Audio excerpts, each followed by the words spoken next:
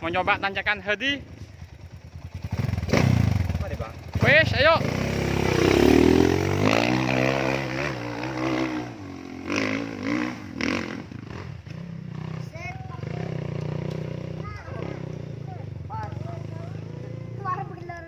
Ada jalan keluar mas ke kanan mas.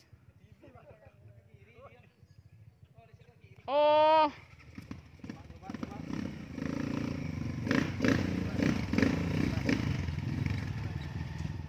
Mbak Ami mau coba tanjakan Hedi.